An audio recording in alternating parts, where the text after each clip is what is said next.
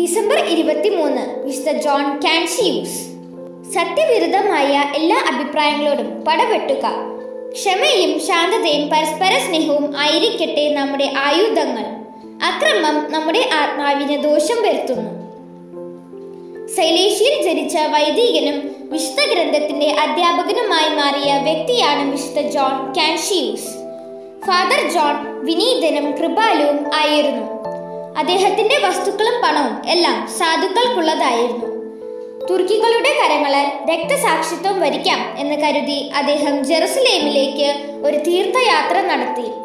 ഭാണ്ഡം പുറത്ത് വഹിച്ചുകൊണ്ട് നാല് പ്രാവശ്യം റോമയിലേക്ക് തീർത്ഥാടനം ചെയ്തു.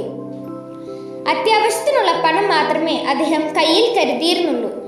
ഒരിക്കൽ കവർച്ചക്കാരുടെ ആക്രമണത്തിനിരയായപ്പോൾ കിട്ടിയതെല്ലാം കൊണ്ടു മടങ്ങിയ കള്ളന്മാരെ തിരികെ വിളിച്ച് തന്റെ കയ്യിൽ ബാക്കിയിരുന്ന പണം കൂടി അവർക്ക് നൽകിയതായ ഒരു കഥ ഈ വിശുദ്ധനെ കുറിച്ച് പറഞ്ഞു കേൾക്കുന്നു. പണത്തോടുള്ള ആർത്തി മനുഷ്യ മനസ്സിനെ ദ്രവിപ്പിക്കുന്നു. ഏറ്റവും വലിയ ലക്ഷ്യങ്ങൾക്ക് കൂടി തുരങ്കം വയ്ക്കുന്നു.